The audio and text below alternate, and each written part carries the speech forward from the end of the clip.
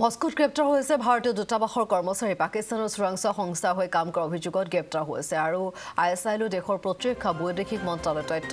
তথ্য প্ৰেৰণৰ অভিযোগ আৰু গ্ৰেপ্তাৰ ভাৰতীয় দূতাবাসৰ কৰ্মচাৰী। সত্যেন্দ্ৰ চিবাল উত্তৰ প্ৰদেশৰ সন্ত্ৰাসবাদ বিৰোধী দল।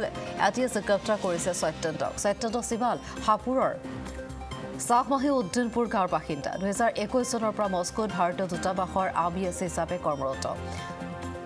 আৰু মস্কোত গ্ৰেপ্তাৰ হৈছে এগৰাকী ভাৰতীয় দূতাবাসৰ কৰ্মচাৰী পাকিস্তানৰ চোৰাংচোৱা সংস্থাৰ হৈ কাম কৰাৰ অভিযোগত তেওঁ গ্ৰেপ্তাৰ হৈছে।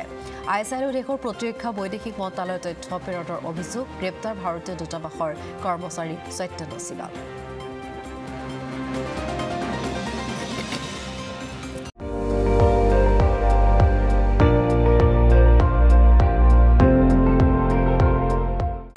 আপুনি চাই আছে এন ডি টুৱেণ্টি ফ'ৰ। সৰ্বশ্ৰেষ্ঠ নহয় সৰ্বোত্তমৰ দৌৰ।